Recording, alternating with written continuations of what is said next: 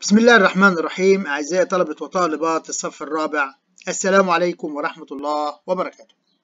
معكم مستر علاء الخضري ومادة الدراسات الاجتماعية. درس النهاردة حل تدريبات الدرس الخامس مسؤوليتنا نحو تراث بلدنا. السؤال الأول اكتب كلمة صواب أمام العبارة الصحيحة وكلمة خطأ أمام العبارة غير الصحيحة. المواقع الأثرية والأماكن السياحية تمثل جزءا مهما من تراث بلدنا. العبارة صحيحة. من جهود الدولة تجاه المناطق الأثرية صيانتها وترميمها. العبارة صحيحة. تقوم الدولة بمشروعات للحفاظ على التراث العمراني. العبارة صحيحة. يسمح باستخدام ضوء الكاميرا عند التقاط الصور للآثار. العبارة خاطئة. يسمح بلمس القطع الأثرية والوقوف بجانبها. العبارة خاطئة. أصدرت الدولة قوانين تجرم الإتجار بالآثار. العبارة صحيحة. تشرف الدولة على عملية البحث والتنقيب على الآثار. العبارة صحيحة. يجب أن نحسن معاملة السياح في المناطق الأثرية. العبارة صحيحة. لمس القطع الأثرية يعد سلوكا إيجابيا. العبارة خاطئة. من جهود الدولة تجاه الآثار التنقيب عنها وترميمها. العبارة صحيحة. تصدر الدولة القوانين التي تجرم الإتجار بالآثار. العبارة صحيحة. يمكن لأي فرد القيام بعملية ترميم الآثار. العبارة خاطئة. يحتوي شارع المعز على تراث عمراني مميز. العبارة صحيحة. تستقبل المناطق الأثرية العديد من السياح. العبارة صحيحة. السؤال الثاني أكمل العبارات الآتية باختيار الإجابة المناسبة. المتخصصين متحف مفتوح القاهرة التاريخية الأزهر التراث شارع المعز. الأماكن السياحية المصرية تعد جزءا من التراث.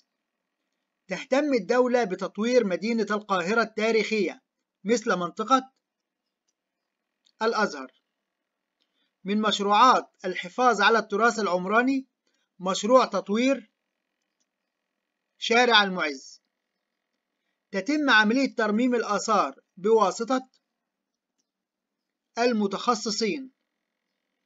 الهدف من تطوير منطقة الأهرامات تحويلها إلى متحف مفتوح. من أبرز المدن التراثية القديمة على مستوى العالم القاهرة التاريخية. أكمل العبارات التالية. محمية رأس محمد تعد من مناطق التراث نقط. الطبيعي. معايير اختيار الأماكن على قائمة التراث العالمي تضعها منظمة اليونسكو. بني تمثال أبو الهول على شكل إنسان وجسم أسد ليكون رمزا للقوة. تعد مناطق العيون الكبريتية في مصر من السياحة العلاجية. تهتم الدولة بتطوير مدينة القاهرة التاريخية مثل منطقة الأزهر. السؤال الثالث اختر الإجابة الصحيحة. يقع قصر محمد علي في شبرا حلوان المطرية الويلي. الإجابة الصحيحة شبرا. من مشروعات تطوير المناطق الأثرية مشروع تطوير مدينة القاهرة الجيزة العبور أسيوط. الإجابة الصحيحة القاهرة. قامت الدولة بترميم مسجد أحمد بن طولون الذي يقع في محافظة الإسكندرية القاهرة القليوبية البحيرة. الإجابة الصحيحة القاهرة. أي من المناطق التالية تعد ضمن مشروع تطوير مدينة القاهرة التاريخية. ميت رهينة سقارة الدرب الأحمر ميدوم. الإجابة الصحيحة الدرب الأحمر. يعد من التراث الطبيعي في مصر قلعة صلاح الدين معبد أبو سمبل محمية رأس محمد مسجد أحمد بن طولون. الإجابة الصحيحة محمية رأس محمد. بعد بناء السد العالي تم إنقاذ معبد نقط من الغرق أبو سمبل إيزيس كلبشة الكرنك الإجابة الصحيحة أبو سمبل برج نقط أحد معالم العاصمة وصمم على شكل زهرة اللوتس. إيفل خليفة القاهرة بيزا. القاهرة. زيارة الأماكن الطبيعية الخلابة. تعد سياحة. ثقافية. ترفيهية. علاجية. مؤتمرات. الإجابة الصحيحة ترفيهية من مشروعات تطوير المناطق الأثرية مشروع تطوير مدينة الجيزة الإسكندرية الفيوم القاهرة. الإجابة الصحيحة القاهرة. السؤال الرابع. أمامك مجموعة من المواقف تجاه المناطق الأثرية. قم بتصنيفها إلى سلوك إيجابي أو سلوك سلبي. إلقاء غلاف البسكويت على أرض منطقة الأهرامات. سلوك سلبي. اتباع قواعد النظافة والأمن داخل المتحف. سلوك إيجابي. الكتابة بقلم حبر على جدران المعابد. سلوك سلبي. عدم لمس المنحوتات والقطع الأثرية. سلوك إيجابي. تناول الطعام والشراب بالقرب من المناطق الأثرية. سلوك سلبي. السؤال الخامس صوب ما تحته خط. من السلوكيات الإيجابية الكتابة على الآثار. الإيجابية خطأ والصواب السلبية. من مشروعات الحفاظ على التراث العمراني. مشروع تطوير شارع فؤاد. شارع فؤاد خطأ والصواب شارع المعز. دور المواطن للحفاظ على الآثار صيانتها وترميمها المواطن خطأ والصواب الدولة. تسمح الدولة بالإتجار في الآثار وتخريبها. تسمح خطأ والصواب تجرم. ضوء الكاميرا يؤثر إيجابيا على القطع الأثرية. إيجابيا خطأ والصواب سلبيا. يعد مشروع ترميم مسجد أحمد بن طولون ضمن مشروعات التراث الطبيعي. الطبيعي خطأ والصواب العمراني. تهتم الدولة بترميم قصر محمد علي في حي الغورية. حي الغورية خطأ والصواب حي شبرا. يعد جامع الأزهر ضمن آثار مجمع الأديان.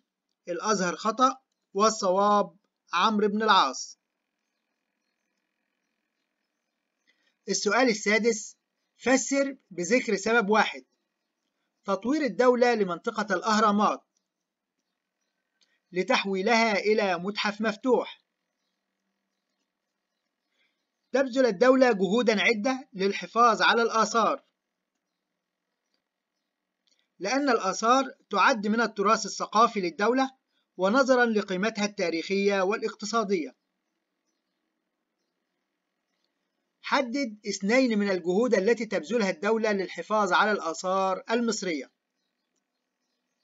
صيانة المناطق الأثرية وترميمها. إصدار قوانين تجرم الإتجار بالآثار والاعتداء عليها. تنظيم عملية البحث والتنقيب عن الآثار والإشراف عليها. وضح دورك كمواطن للحفاظ على المناطق السياحية والأثرية. اتباع قواعد النظافة والأمن داخل المناطق السياحية. عدم لمس القطع الأثرية أو الوقوف ملاصقين بها. عدم تناول الطعام والشراب بجانبها. نحسن معاملة السياح وتقديم المساعدة لهم.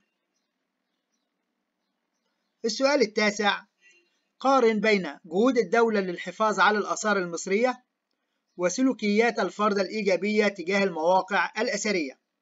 أولا جهود الدولة. صيانة وترميم الآثار. إصدار قوانين لمنع بيعها. التنقيب عن الآثار. ثانيا سلوكيات الفرد. عدم الكتابة على الآثار. الاهتمام بنظافة المناطق الأثرية.